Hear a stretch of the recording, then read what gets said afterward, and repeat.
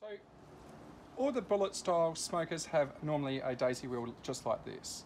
Um, on the Fornettos and ProQs, you can actually remove the main daisy wheel on the newer unit. So that's our first step. What we're going to do is simply remove the one that has a bolt and put it aside. Now just be careful with the pieces because you will have lock nuts and washers. It's good just to keep them to the side for future use. Uh, then what we can do is our main adapter uh, is the dish universal adapter. So it has a couple different parts. We have the main dish, which allows it to be slightly separated from heat on the bowl, plus also provide a little bit of ash catching. Um, it also has a probe inlet, just in case you want to put your probes through that side, especially if you're using a kettle uh, smoker and you don't want to put the wires through the top of the lid and get them crushed. So that's the main piece. Secondary piece is a short version of our old universal adapter, which is the female coupler to our SmartFire. Has a small thread, plus a silicon washer. Uh, this is, helps us decouple the heat from the adapter, plus it also makes certain that when we uh, screw tight the lock nut, it's nice and firm. So what we can do is just fit the washer on the outside,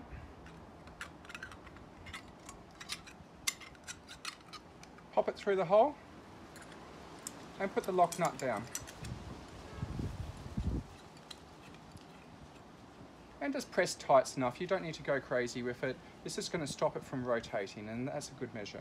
Our last piece is a bolt, washer and wing nut and this will fasten it to the actual smoker itself. So what we want to do is put the bolt through the dish and then we want to locate the blower, the female coupler on the top. So it's a good idea to put the bolt through one of the bottom positions.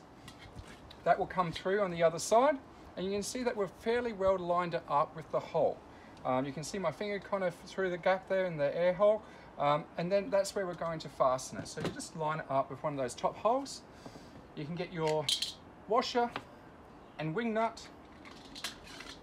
It's good just to hold it spinning and then just gently put it back in place once we're ready to tighten and tighten in position. Now that's providing a perfect seal all around it and as you can see it's nicely lined up with the hole here. We have our probe down here for also a little bit of air ingress and our lock nut is nicely fastened on the inside. Um, and so that is the complete process for attaching the adapter. Um, so we're ready to cook with that. One suggestion I do have is with the bowl, is when you set up your bowl, have your bowl in here and just keep the charcoal away from this side. It's not a good idea to have any charcoal that can fall directly in. Um, it's good to stack up your charcoal slightly on an angle and nothing directly on that side of the fire basket because otherwise you may get things falling into here. Uh, Maintenance wise, it's good to unscrew this every couple of months because ash will catch in the bottom of this. It's just good just to give it a shake out or you could even, if you like, very firm on the first use, um, just give it a bit of a shake out to get that dust out because it will fall straight out of the, um, the inlets. So that is pretty much all for this particular setup. It's nice and easy, isn't it?